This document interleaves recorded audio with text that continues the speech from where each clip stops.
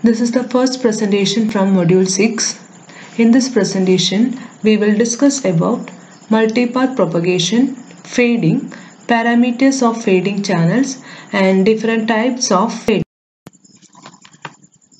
First is multipath propagation. In a wireless mobile communication system, a signal can travel from the transmitter to the receiver over multiple reflective paths. This phenomenon is called multipath propagation.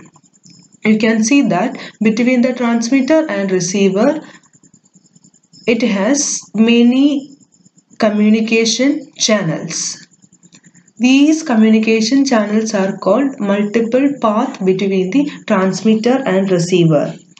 The effect can cause fluctuations in the received signal's amplitude, phase and angle of arrival which gives rise to a phenomenon called multipath fading. So fading basically a distortion in the received signal strength.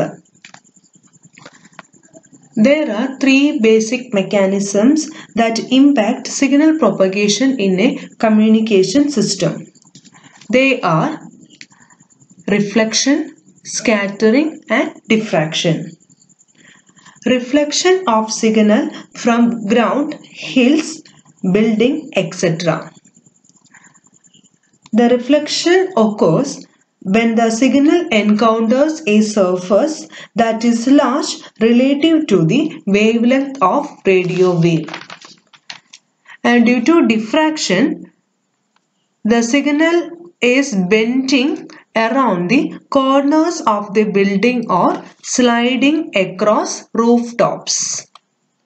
This diffraction occurs at the edges of the impenetrable objects that are large compared to the wavelength of radio waves.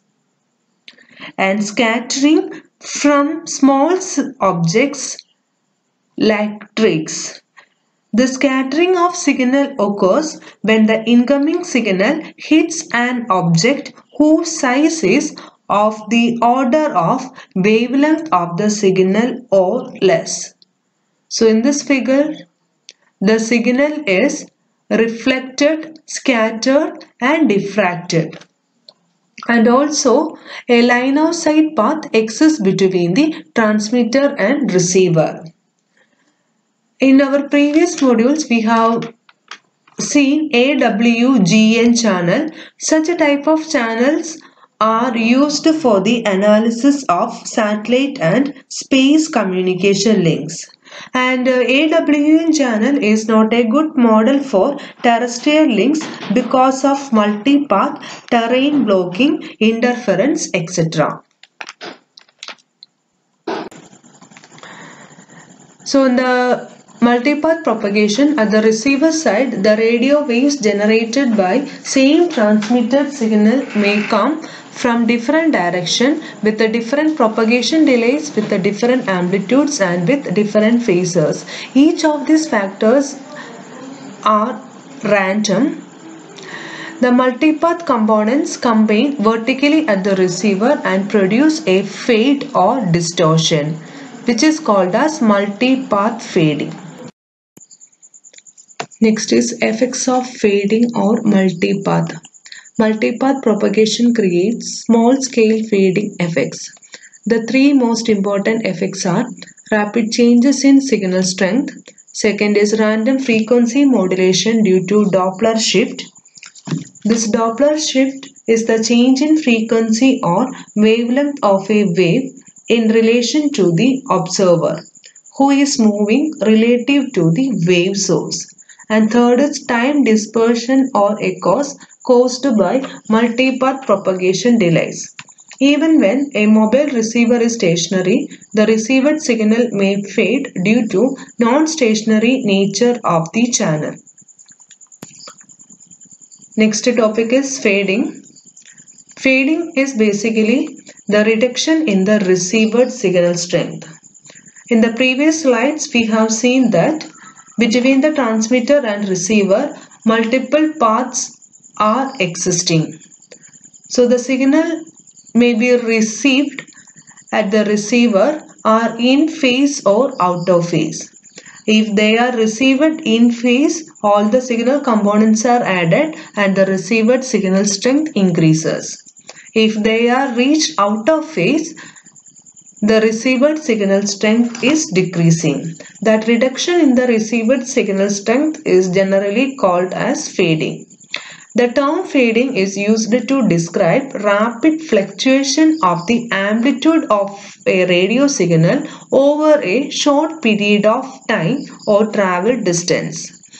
It is caused by destructive interference between two or more versions of the transmitted signal being slightly out of phase due to the different propagation time.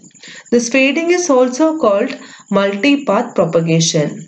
The different components are due to reflection, scattering and diffraction from trees, buildings and hills etc.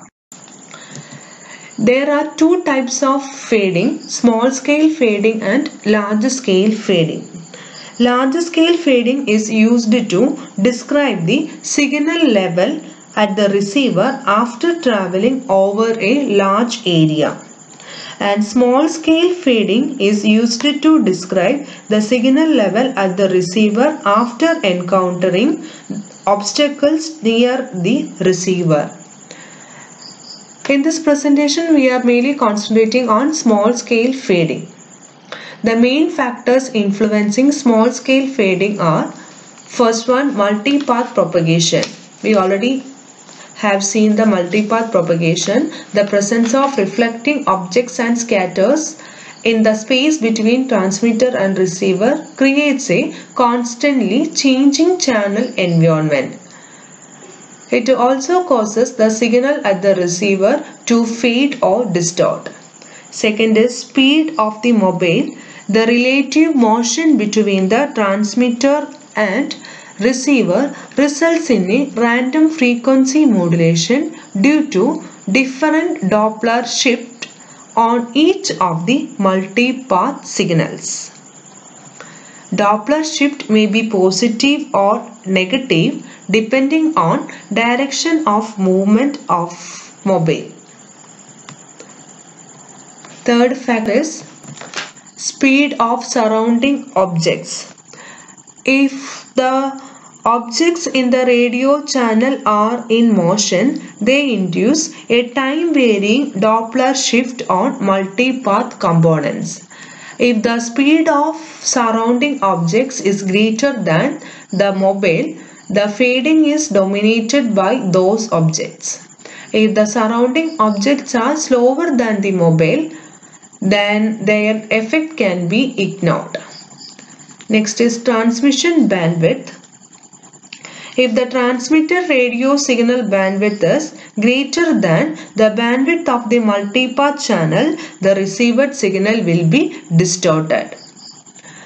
If the signal bandwidth is greater than the coherence bandwidth, coherence bandwidth is same as our uh, bandwidth of the multipath channel, it creates distortion. If the bandwidth is smaller than the coherence bandwidth, it creates small scale fade. Next is parameters of fading channels. Mainly there are four parameters based on the time dispersive nature of the channel. There are coherence bandwidth and delay spread. Then based on the time varying nature of the channel, there are Doppler spread and coherence time. We will discuss each of these patterns in detail. First one is delay spread. Due to multipath, each symbol transmitted by the transmitter is received multiple times at the receiver. This creates an impact of an echo. The duration of the echo is called delay spread.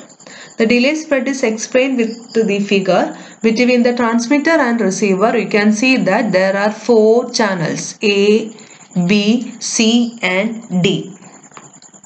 So the transmitter transmits a single symbol that is propagated along these different paths and eventually reaches the receiver at multiple time instance and therefore with a multiple replication. The delay between the first and last significant path is called delay spread. So this is the graph. You can see that uh, via the channel 1 sorry channel A the first signal is received via channel B second signal is received via channel C third and via channel 4 or channel D the fourth signal is received. These are received at a different time instance. So the distance between the first that is A and D is called delay spread. Second parameter is coherence bandwidth BC it is the range of frequencies over which the channel can be considered flat. That is, the channel passes all spectral components with equal gain and linear phase. You can see that these are the two multiple paths between the transmitter and receiver. For the first channel with the frequency F1 and the second channel with the frequency F2 if the frequency separation that is F1 minus F2 is greater than BC, these channels are equally affected. The signals in the channel 1 and 2 are equally affected. If the frequency separation is less than coherence bandwidth, the signals are affected unequally or differently. The frequency correlation between two sinusoids uh, lies in between 0 and 1. If coherence bandwidth frequency relation is above 0.9 so we can define the coherence bandwidth as 1 by 50 sigma where sigma is the RMS delay spread. If the frequency correlation is above 0.5. So we can define the coherence bandwidth as 1 by 5 sigma. So this is called 50% coherence bandwidth. Next is an example of coherence bandwidth. For a multipath channel, sigma is given as 1.37 mu s. The 50% coherence bandwidth is 146 kilohertz. So this means that for a good transmission from the transmitter to a receiver, the range of transmission frequency or channel bandwidth should not exceed 146 kilohertz. So that all frequency components in this band experiences the same channel characteristics. If this frequency or bandwidth is greater than 146 kHz, the signal components are experiencing different channel characteristics. Next is Doppler spread. It is denoted by B suffix D. It is a measure of spectral broadening caused by motion. Doppler spread is defined as the range of frequencies over which the received Doppler spectrum is essentially non-zero. When a pure sinusoidal tone of frequency Fc is transmitted, the received signal spectrum is called Doppler spectrum. It will have components in the range Fc minus Fd to Fc plus Fd. The Doppler shift Fd is equal to V by lambda where into cos theta where V is the velocity of the signal, lambda is the wavelength and theta is the angle between the direction of motion of the mobile and direction of arrival of the scattered waves. If the baseband signal bandwidth is much greater than BD, then effect of Doppler spread is negligible at the receiver. So we have to ensure that the signal bandwidth which is always greater than the Doppler spread. Next parameter is coherence time TC. Coherence time is the time duration over which the channel impulse response is essentially invariant.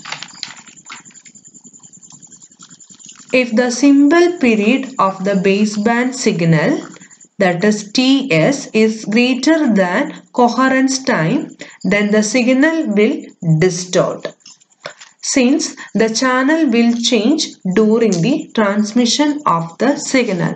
So we have to ensure that the coherence band time which is always greater than the symbol period Ts. For example, we have two multiple paths with the frequencies f1 and f2 and they are received by the receiver at a time t1 and uh, f2 is received at a time t2 and delta t is the separation between that is time difference between t2 and t1 if if the coherence time is greater than the separation time the signals will have the same channel characteristics. If the signal separation time is greater than the coherence time they are affected differently by the channel. So we should ensure that the separation time which is always less than the coherence time this coherence time is always defined as the reciprocal of Doppler spread that is Tc is equal to 1 by Doppler spread. Next is different types of small scale fading. So based on the multipath time delay spread, they are classified as flat fading and frequency selective fading. And based on Doppler spread, they are classified as fast fading and slow fading. We will discuss in detail about each fading in the following slides. Flat fading occurs when the amplitude of the received signal changes with time. It occurs when the symbol period of the transmitted signal is much larger than the delay spread of the channel. That is, Ts is very much greater than tau. And also it occurs when bandwidth of the transmitted signal is less than the coherence bandwidth of the channel. That is, if Bs is very much less than Bc, this flat fading occurs which results in the amplitude of the received signal reduction.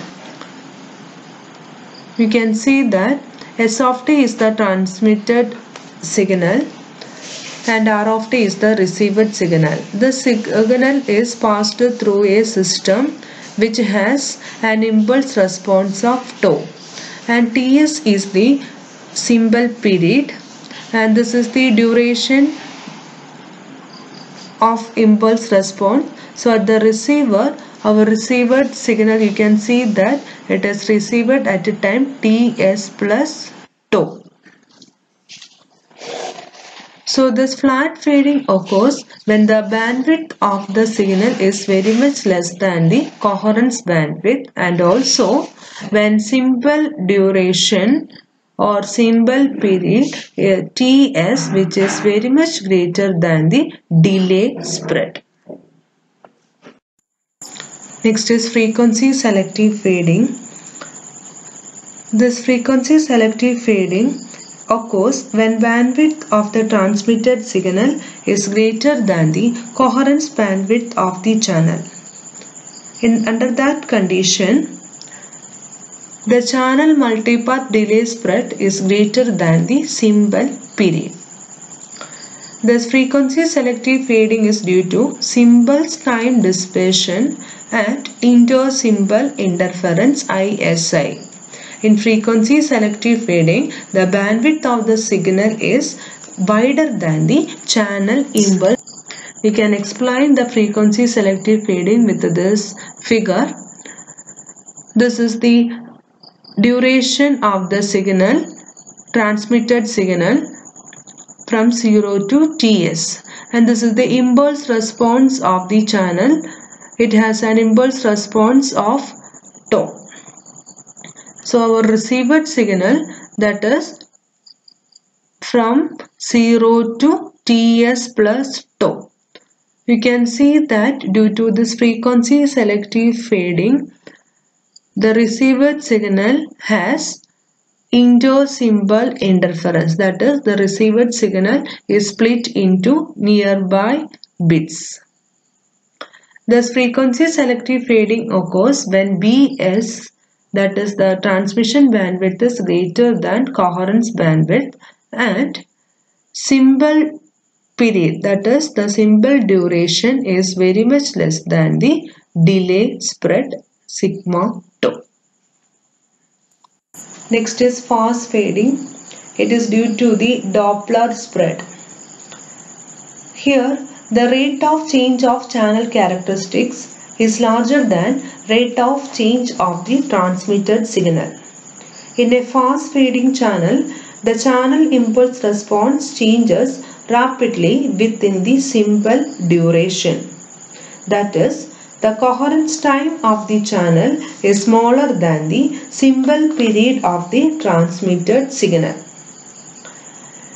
It occurs when the trans symbol bandwidth is less than Doppler spread and the symbol duration or symbol period which is greater than the coherence bandwidth. Next is slow fading. It is also due to Doppler spread. Here the rate of change of the channel characteristics is much smaller than the rate of change of the transmitted signal. In a slow fading channel, the channel impulse response changes at a rate much slower than the transmitted baseband signal. Slow fading occurs when bandwidth of the signal is very much greater than Doppler spread and symbol period is very much less than coherence band. Next is the summary of different types of fading with respect to transmitted symbol period.